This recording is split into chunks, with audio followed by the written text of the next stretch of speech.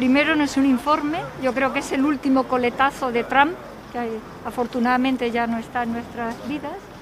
Y desde luego ningún país como Estados Unidos, por ejemplo, eh, puede decirle a una democracia como la española cómo funcionan nuestras libertades y en este caso nuestra libertad de expresión y nuestros medios de comunicación.